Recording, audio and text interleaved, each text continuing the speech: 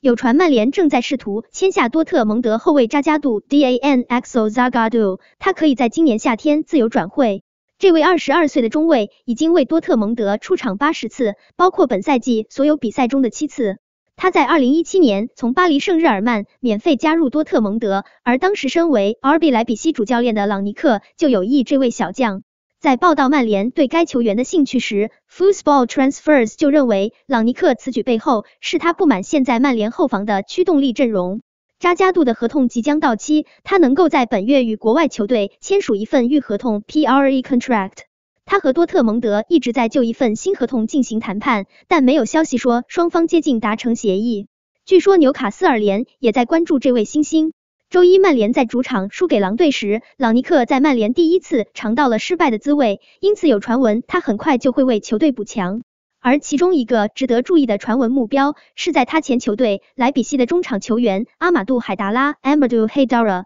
被指示潜在的一月签约。在担任萨尔茨堡红牛和莱比锡 RB 的体育总监时，朗尼克在二零一九年以一千七百万英镑的转会将阿马杜海达拉带到德国。阿马杜海达拉的合同中有一个三千三百万英镑的解约条款，他已经承认梦想为曼联效力。此外，狼队中场卢本内维斯 RBEN Neves 在老特拉福德的表现令人印象深刻，正在吸引曼联的注意，而目前正在谈论超过五千万英镑的转会费。利物浦一直在留意波尔图一锋路易斯·迪亚斯，现在马内和萨拉赫已经出发去踢非洲杯，导致前锋线少了两员大将，让红军有意加速在一月购入迪亚斯，强化攻击力。克洛普原本想在夏天才出手买迪亚斯，但是萨拉赫和马内离队踢非洲杯，导致他考虑提前出手。迪亚斯目前的身价估计为六千万镑。这位哥伦比亚一锋在过去一年吸引了各大豪门的注意，红军一直想把他带来英超，强化前锋线三叉戟的变化。